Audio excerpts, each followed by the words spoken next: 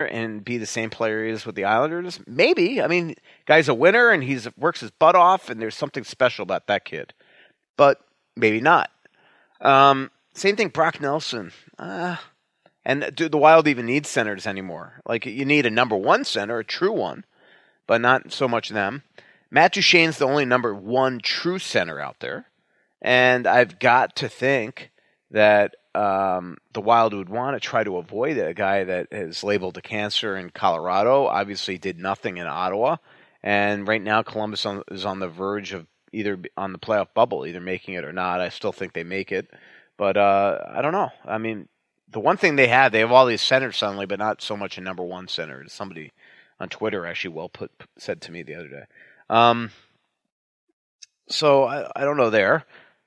Joe Pavelski, another one that I know the Wild like. Jordan Eberle. These are right shot right wings. Makes a lot of sense. Pavelski can also play the middle. Pavelski's 34, so now you're going to overspend him and coming off maybe a 40 goal season and give him six million per. That's the cycle the Wild seem to always get in, and it wind up biting the bullet. You know, Dave just asked about Staal. You think Pavelski is going to be Pavelski three, four years into a, a uh, that type of contract? So that's why it's just like, okay, you created all this cap space, but really for what? Like, you know, it's just dangerous to me to go out and, and overspend right now, just for the sake of showing your fans that you did something. I'd rather you, almost as miserable as it would be, come back with this type of team, add maybe a couple little pieces, save a ton of money. Maybe it'll piss off the fans that they're seeing a poor product and, you know, label them as being cheap, but there's a, ma- a reason for the madness. That, that would be the way I'd go. From Todd Burgeth, uh, who actually – is the sports director uh, at a station that I'm doing some hits on now out in Willmar. It's uh, KWLM. If you're out in that area and want to listen, I'm on 5:30 every night with him. He asked, "Is Boudreau safe? Do we know any more about that situation?" Um, I I don't think Craig wants to fire him. I'm sure Paul would love his own coach.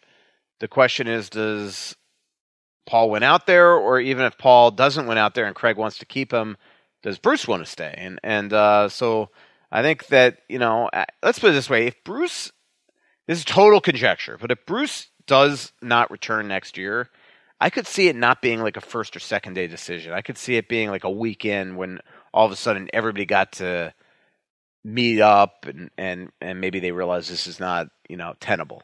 And so, uh, while I am convinced that Craig doesn't want to fire him, I'm not 100% willing to go on the line saying he'll be back. Let's put it that way. But I, but I think Craig looks at the situation and says this is not his fault. You know, there were a lot of trades made that obviously took the rug out from under this organization. Koivu and Dumba had season-ending injuries. Parise gets hurt at the absolute world's worst time. You know, four must-win games. They pretty much were done after Arizona. And then last night he comes back in a game that really you know, we could pretend it meant something. They didn't. They had a one percent chance to make the playoffs. They were not making the playoffs, even if they won last night and Colorado lost. So that's just reality. Uh, just a couple more Twitter questions. We're not going to get to all of them today. We never get to all of them. We do appreciate them. And Michael's going to start thinking of a, just a fabulous final thought or a final sigh uh, from Zach Spicer. Will there ever be a season where the Wild doesn't run Doobie into the ground? Well, I mean, obviously, that's another re- thing that's just so shocking is that they obviously don't have a lot of trust in Stalock, despite giving him the two-year extension.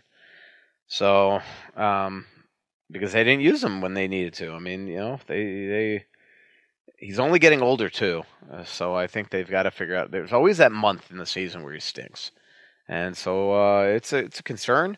Uh, the hope is that Robson and Kahkonen can turn into quality goalies for the future, and we'll see if they do. From MJ, our friend, when is mom coming to visit the mansion? Uh, maybe end of this month or early May or sometime like that. Well, uh, my brother's uh, also coming once in May, then coming back with his family over Memorial Day weekend. If we have our live venue set up by then, we'll have to have mom out to that. From mm-hmm. Erica, uh, the Wild, understandably, seem to be working hard to promote Fiala and Donato through things like public signings and only in Minnesota video. They haven't done the same with Rask. Is that kind of accepting the current? That's a great perceptive question. I think you got it, Eric. I don't think they think Rask's going to be around. Well, again, I don't think Fenton has anything to do with that. That's all social media department, PR, and people like that. And I will say, um, as nice a guy as Rask is, uh, personality wise, he's kind of like, you know, dry white toast. So like Fiala and Donato are like these, you know, uh, bubbly, you know, kind of fun people. So they're good for those social media things where you know maybe uh, they think that Rask isn't. Um, you know, and and the other thing, I you know that was kind of unfair. I mean, the other thing that I don't know when they've been filming all this. Um, maybe they haven't been filming it. You know, uh, maybe they. So so in other words, maybe uh, they've been filming. They filmed a lot of this stuff like three, four weeks ago, before like every game was a must-win situation. So maybe that all happened when Rask was hurt. Uh, I don't know. Thanks to all our sponsors. Thanks to all our listeners. We do appreciate it. Check out TalkNorth.com from Jared Mealy. Uh, we'll, with the Wild out of the postseason, we'll be covering the NHL playoffs. Or are you going to follow uh, Trampled by Turtles around on tour instead? Yeah, I mean maybe the latter. Uh, my guess is I'm not going to be covering the playoffs, which sucks.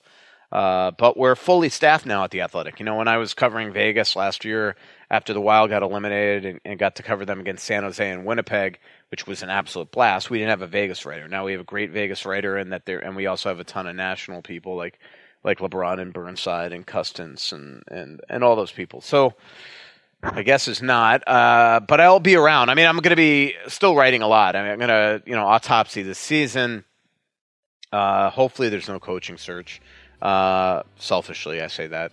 Um, and then Iowa is going to be an interesting story. You know, they've been absolutely terrible here the last two, three weeks. Um, that's one reason why they try to get Reed back there as soon as possible. But you know, maybe if Donato Greenway and Kunin go down there, it'll give them kind of a boost. Um, and uh, and we'll see. I mean, so I'll probably go to Iowa a little bit to cover that as long as they go on a little bit of a run here. Uh, MJ, also known as Captain Caveman on Twitter, and Greg, Gregquisition, both asked questions about the scouting development department, about about Fenton's son having a job after only three years of scouting. Let's save those for you know good op- later later um, this month or off season topic. I think we can get really into that, but I don't want to just tack it on to the end of the show. And also use the word autopsy as a verb, so you're dead to me.